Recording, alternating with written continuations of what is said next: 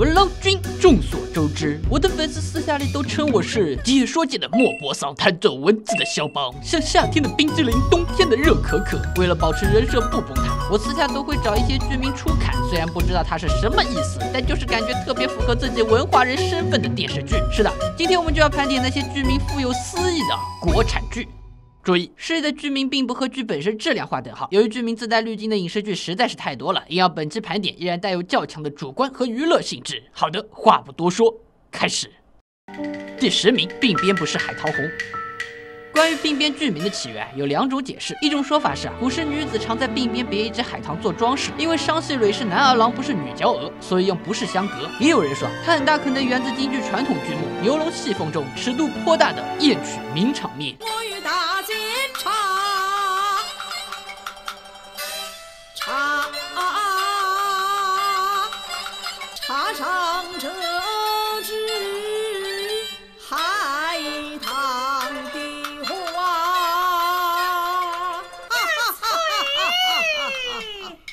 虽然鬓边没有确定的诗集典故，但寥寥七字却写进了筋骨交错的王府戏楼，写进了单扣执念将半生赴梨园的京都名伶，一颦一笑，一颦一蹙都在他的水袖间。象征苦恋与离别的海棠花，又被称作断肠花。于是我们看到了在月台等待商细蕊的二爷，看到了北平漫天的大雪，都化作他皑皑的思念。其实他会不会出现？他心中早已有了答案。略显遗憾的是，鬓边不是海棠红，完全展示不出我们这个肯酱肘子、黑森林大牛排、瓜子花生米、美国小饼干的北平吃播。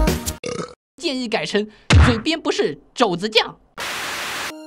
第九名，海棠金雨胭脂透，出自宋代宋琦《春日寄游词》：锦蝉道，燕子呢喃，睹园林万花如绣，海棠金雨胭脂透。春色蓬勃的园林，金雨的海棠红似胭脂，记录了词人春日出游，吃醉春色，及时行乐的人生况味。而电视剧里啊，女主恰好名叫顾海棠，背景恰好设在江南胭脂制造。小作者巧妙地将人民职业化用进词内，文学功底深不可测，一人之下，更是留下了海棠金玉胭脂透，花间起壶方大处，朗朗上口的千古名对。而一个透字，看似描摹的是金玉洗礼、砥砺霜雪的海棠，实则与本剧顾海棠所要面对的挫折与成长两大主题高度契合，折射的是顾海棠的通透灵透、晶莹剔透。略显遗憾的是，海棠金玉胭脂透忽略了商海浮沉、家仇国恨、兄弟反目、骗婚夫妇的剧集大体量，更少了男主和大哥抢嫂子的带感设定，建议改成和嫂子的二三事。第八名，问君能有几多愁。李煜的代表作李后主的绝命词，他是南唐后主，是亡国之君，是满腹诗词却无治国之能的阶下囚，更是故国不堪回首却又不能不回首的末代君王。电视剧原名《问君能有几多愁》，又名《太江山我爱美人》，现在改叫 gay gay 的李后主与赵匡胤。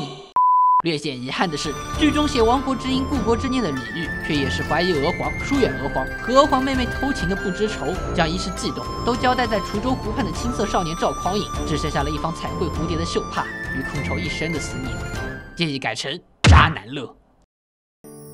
第七名，秦时丽人明月心。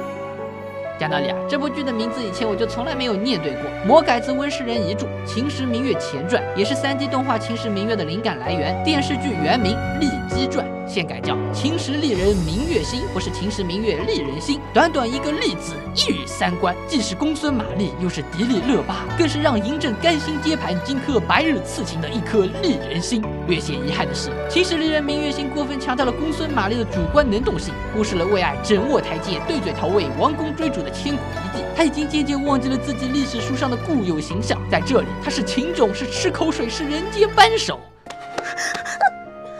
寡人一定会等到你心甘情愿与寡人共寝的那一天。所以建议改成：我是我，他是我，你是我，那我是谁？我是我，他是我，你是我，那我是谁？第六名。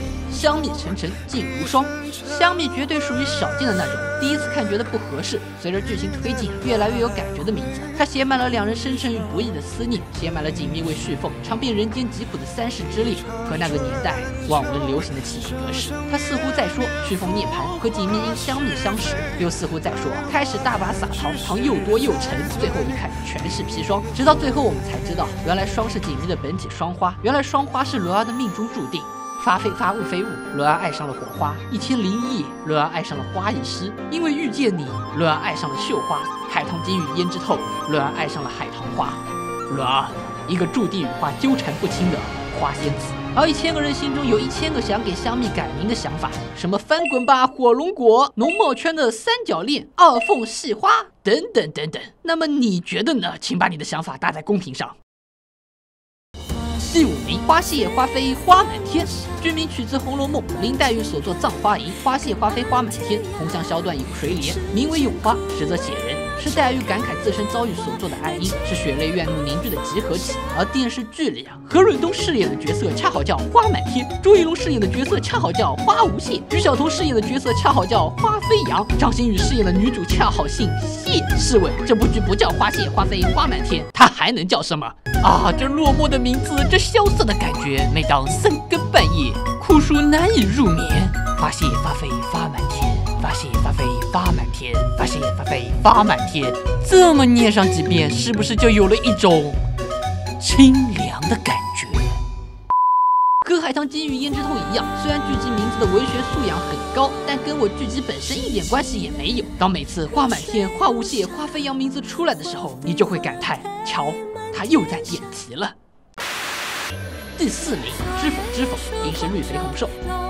取自李清照《如梦令》，昨夜雨疏风骤中，词人和侍女的。对谈。按照原著作者关心则乱的。话说，他希望描绘一个像词中拥有李清照一般悠闲洒脱、慵懒生活状态的。盛明来，在礼教、民生三从四德的。古代女子图鉴下，不断承受着失去、隐忍、放弃的。痛苦，但依然有着善良、温暖和清醒的。态度，正是我们对知否蕴含的。期许与期盼。也有很多网友说，因为剧里成婚的。婚服习俗是红男绿女，所以才有这句绿肥红瘦，翻译过来也就是是男孩子瘦一点，女孩子胖一点，幸福生活更美满。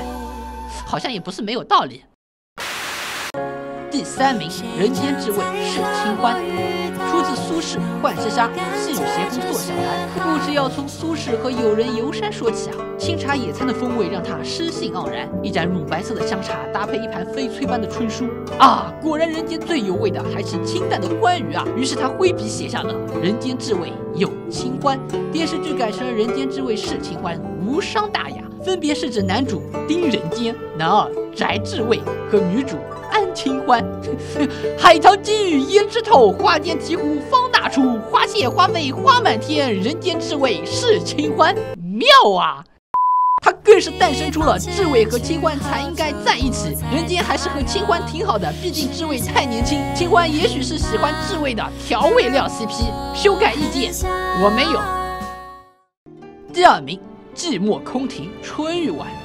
出自唐代诗人刘方平的《春怨》，寂寞空庭春欲晚，梨花满地不开门。一首凄婉哀凉的宫怨诗，吟唱着无人听见的深宫小调。是春晚花落，凭空门掩，是孤寂的少女以泪洗面。那个少女便是她，郑玛丽。剧里的她不懂寂寞，不守空庭，并且永不迟到。她是纳兰容若口中的一生一代一双人，是康熙掰花瓣都想弄清楚心思的小宫女，是皇城内无孔不入的梨花落，更是寂寞本末。姑娘，看你眼熟，我们是不是在哪里见过呀？姑娘，我是好人，不要害怕。略显遗憾的是，寂寞空庭春欲晚，听着满是落寞，与电视剧里的春色十分不符，建议改成欧若拉。第一名，须尽欢。须尽欢取自李白《将进酒》，人生得意须尽欢，莫使金樽空对月。他是年度最佳作词人，清廉居士，是散尽千金长醉不醒，还要一饮三百杯的诗仙太白。用他命名，有热情张扬、浓烈的情绪色彩，有恣意人生、乐活当下的率直态度。想要完美符合须尽欢，我想一定是他。零香精、零防腐剂、零人工色素，百分百果蔬汁，只用水果玩花样，吃到嘴里绿色健康的须尽欢。茉莉水蜜桃的身躯，蓝莓酸奶的神秘，傅鹏子的热情，牛油果的春意，以及踏踏踏踏踏，总有一款让你称心如意，真正满足各种口味需求的须尽欢冰激凌。品尝的同时插上耳机，搭配音乐剧王子独一无二的声线，对《将进酒》的再演绎，人生响起的那一刻，大股古韵流淌。人生得意须尽欢。这个夏天，我只想说，买它，吃它。我是娄军，喜欢我你就转发我，有话说你就评论我，都不干你就点个赞。